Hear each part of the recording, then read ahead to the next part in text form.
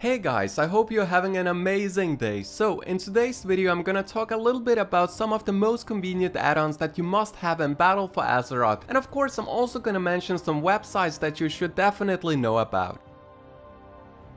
First off, we have Azeroth Autopilot, which will help you level up your characters and your alts. I mean, it's pretty much a Cons Legion 2.0, and the add-on will accept the quests for you, turn them in, and an arrow will show you which way you gotta go to complete the quest. So all in all, it's a good add-on that I would recommend everybody to use, especially if you're like me and have 20 alts you gotta level up.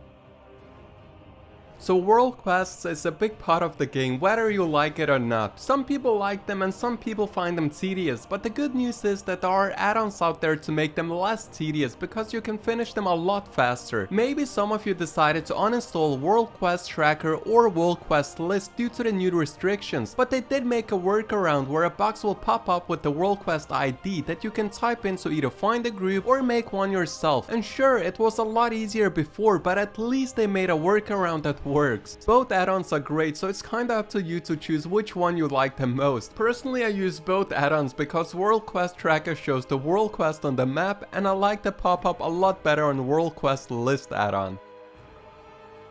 Easy Scrap is another great add-on that I would recommend everybody to use. Basically what it does is that it allows you to see all of your items that you can scrap without having to look at your messy bags. Yeah, my bags are a mess. You can queue up the items you want to scrap and hide the ones you want to keep, so it is pretty convenient to use.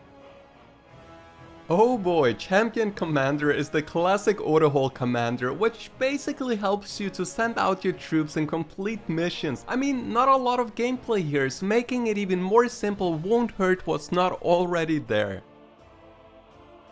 HandyNotes will basically show you all of the locations of the rare mobs and chests throughout Kul Tiras and Zandalar in Battle for Azeroth, and it's a good add-on, especially if you want to do some of the achievements. Now let's move on to the two websites that you gotta know about in Battle for Azeroth.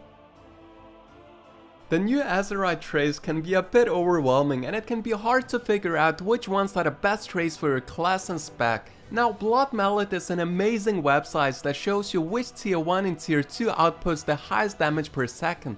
The website even shows you your best in slot trinkets and your best in slot Azerite gear. So it's definitely a website I would recommend everybody to use because it's so easy to navigate around and it's very convenient to use.